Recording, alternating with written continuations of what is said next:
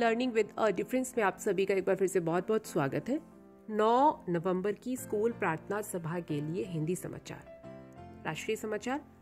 पधारो हमारे देश से स्वागतम तक पीएम ने जी ट्वेंटी प्रेसिडेंसी के लिए विविधता वाला लोटस लोगो किया लॉन्च तेलंगाना हाईकोर्ट ने पुलिस को केसीआर की पार्टी के बीजेपी पर विधायकों की खरीद फरोख्त के आरोपों की जाँच की दी इजाज़त।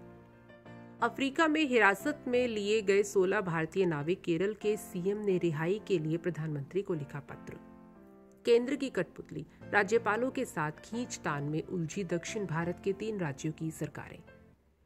अब जातिगत जनगणना भी ज़रूरी ईडब्ल्यूएस आरक्षण पर सुप्रीम कोर्ट के फैसले का स्वागत करते हुए बोले नीतीश कुमार। सेना में तीन हज़ार महिला अग्निवीरों की भर्ती हुई। पचानवे साल के हुए लालकृष्ण आडवाणी, पीएम मोदी ने घर जाकर उन्हें दी बधाई। राष्ट्रपति द्रौपदी मुर्मू और पीएम मोदी ने गुरु नानक जयंती पर दी शुभकामनाएँ। दिल्ली पॉल्यूशन जहरीली धुंध से मिली दिल्ली एनसीआर के लोगों को थोड़ी राहत ए में हुआ कुछ सुधार। नांदेड़ में गुरु नानक जयंती के कार्यक्रम में राहुल गांधी ने की शिरकत, पगड़ी में आई नज़र। विभाजन के शिकार हिंदू सिख परिवारों के लिए सीएए के ज़रिए नागरिकता देने का प्रयास किया, पीएम मोदी। यूपी सरकार ने आयुष कॉलेजों में प्रवेश अनियमितता की जाँच सीबीआई को सौंपी, अफसरों पर गिरीगाज क्लाइमेट फाइनेंस अपर्याप्त चेतावनी, आजीविका बचाने के लिए अहम जलवायु सम्मेलन में भारत। समाचार अंतर्राष्ट्रीय।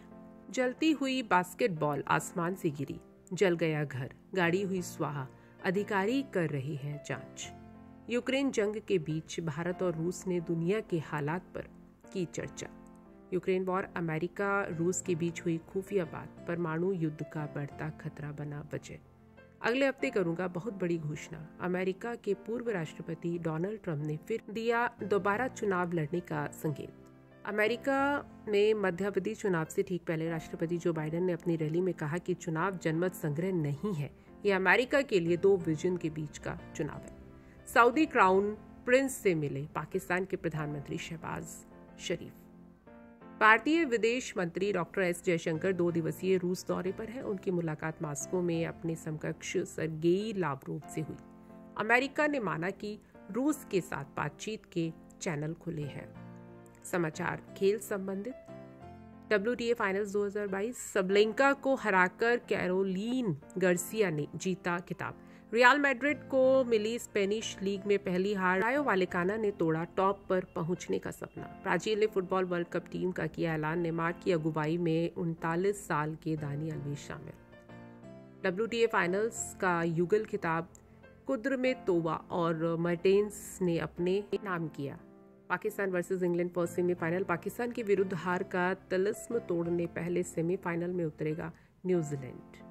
समाचार बिज़नेस संबंधित। विवेक देबरॉय बोले जीएसटी में सिर्फ़ एक दर से मुकदमेबाजी और प्रशासनिक अनुपालन का बोझ घटेगा। वित्त मंत्री का दावा, एनपीए घटाने की कोशिशों से सरकारी बैंकों का लाभ 50 प्रतिशत बढ़कर छह करोड़। सीईए अनंत नागेश्वरन बोले, रुपए को धीरे धीरे कमज़ोर होने दे आरबीआई विदेशी मुद्रा भंडार का हो उचित उपयोग। त्योहारी मांग से वाहनों की खुदरा बिक्री 48 प्रतिशत बढ़ी। सभी वाहनों की बिक्री कोरोना पूर्व से 6 प्रतिशत ज़्यादा। अब स्मार्ट टीवी को लेकर गूगल पर जुर्माना संभव इस साल दो बार प्रतिस्पर्धा आयोग लगा चुका है आर्थिक दंड। भारत रूस का मज़बूत व्यापारिक साझेदार है और 2023 में भी बना रहेगा एस एन पी ग्लोबल का दावा। केंद्रीय मंत्री ने की उर्वरकों के संतुलित उपयोग की अपील, बोले डीएपी व यूरिया के विकल्प तलाश रहे। समाचार में बस इतना ही। धन्यवाद।